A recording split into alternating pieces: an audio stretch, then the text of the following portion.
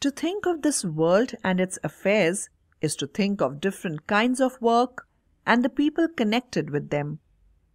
Work is necessary to keep the world going, and without work, human life will instantly collapse. Let's think for a moment about the different kinds of workers who make our life in this world a pleasant experience. We find that a large number of people are cultivators or gardeners or shepherds.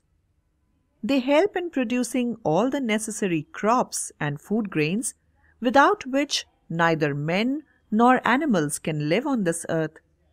Next to these people come the miners who go deep into the earth to bring out coal, gold, iron, etc., which are the basic requirements of the modern civilization.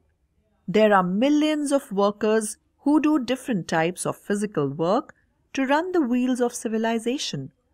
Among these people are movers or service providers such as cart drivers, truck drivers, railwaymen, and sailors. There is another category of workers such as doctors, policemen, and soldiers who work all the time round the clock. They are called helpers and facilitators. People do work for earning their livelihood and to keep themselves usefully busy in order to be happy in life. A great deal of work is done by people just for the love of it.